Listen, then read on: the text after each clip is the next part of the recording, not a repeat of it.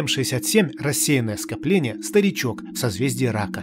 Оно находится на расстоянии 400-450 парсек над плоскостью галактики и содержит звезды, очень похожие на Солнце. Эта похожесть навела ученых 2010-х на мысль, что Солнце, возможно, родилось именно там. Представьте себе, когда-то около 5 миллиардов лет назад желтенькая звездочка загорелась среди тысячи таких же, как она, в скоплении М67 но затем была выброшена из него в диск галактики, а сама семья солнечных братьев и сестер продолжила свой путь в Гала. Красиво, романтично, практично. Но сейчас астрономы начали оспаривать эту гипотезу.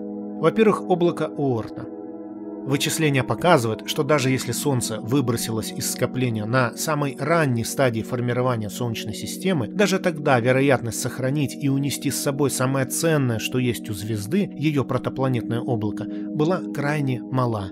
Практически наверняка облако Уорта, пыль, астероиды были бы выдернуты из системы приливными силами со стороны соседок Солнца, и оно осталось бы ни с чем. Во-вторых, единственным аргументом в пользу М67 является схожесть химического состава его звезд с солнечным.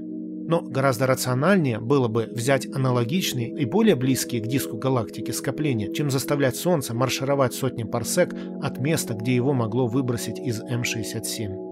Позапрошлом году, благодаря охотнику за планетами Харпс в обсерватории Лассилла, методом радиальных скоростей в скоплении М67 были открыты целых три планеты, две у звезды солнечного типа и одна у красного гиганта. То есть, как вы понимаете, первый аргумент о невозможности формирования планетных систем в скоплениях такой плотности получает серьезное возражение. В общем, поиск продолжается. Почти наверняка Солнце сформировалось в скоплении таких же, как оно, звезд.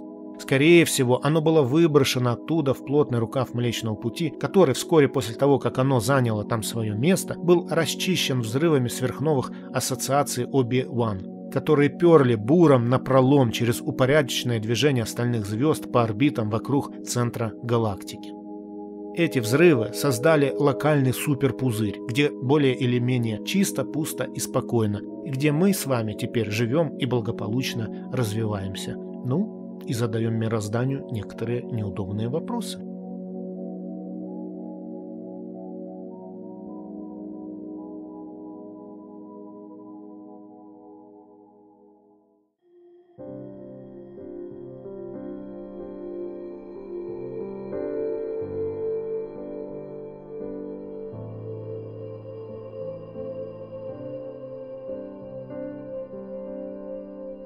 Вот и те, кто за стеною продолжает марш на небо. Вот и те, кто делит море, кто меняет жизнь на смерти. Нам с тобой идти на берег и смотреть на купол звездный, задавать свои вопросы о бессмыслице и смысле.